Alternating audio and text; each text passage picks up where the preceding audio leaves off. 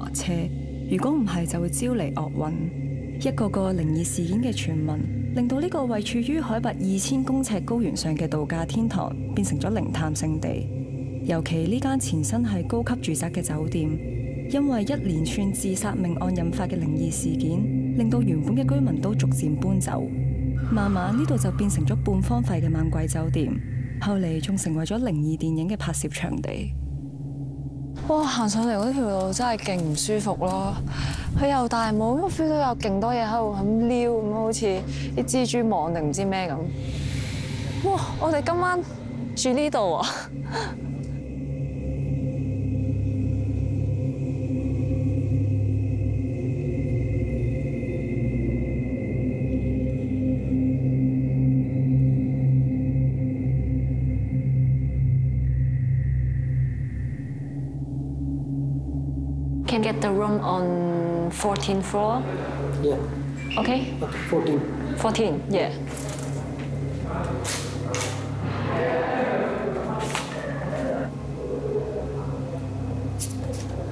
All right. Thank you. Thank you very much.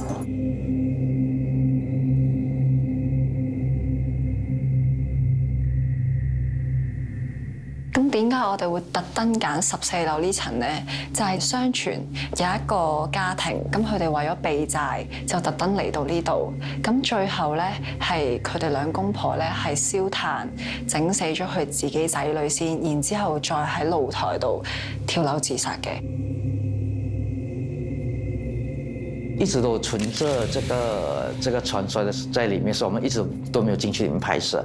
结果我们那天进去之后呢，我我就先跟副导跟我的一个男主角进去里面。我们一出来之后呢，哎，我說不懂为什么，我我工作人员就跟我说，哎，抖音，你的那个呃頸上后面流血了。我一摸下，誒，果然这么有血。然后到今天为止，我也不懂为什么流血，是没有感觉的。然后我的副导演手上也流血了。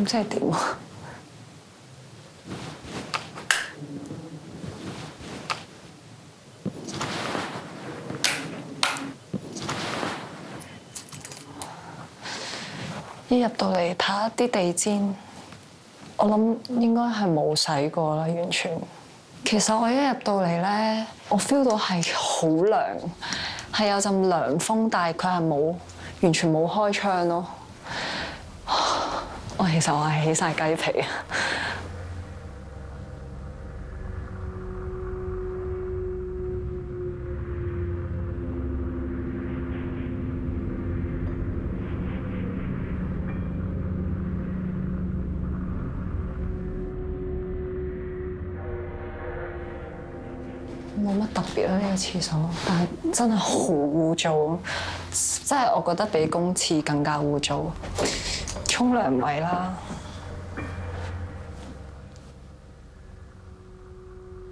然後晚上呢，到記者們上來之後，真沒有地方，就在那邊硬着頭皮在那邊開記者會。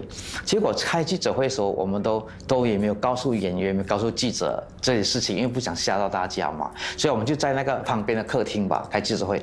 然後開完的時候呢，就有記者來告訴我們的負責人說。哇！這間房間很猛，因為呢，我們一個攝影記者呢，看到有有一個影子跟小孩子的聲音在裏面跑來跑去，跑來跑去。然後另外有另外一個女記者就看到在陽台那 balcony 那一邊有一個一個男生吧，就翹着腳，然後坐在那個陽台的那個欄杆上面，然後看着我們整個記者會的進行。呢個位就應該係廚房位嚟嘅。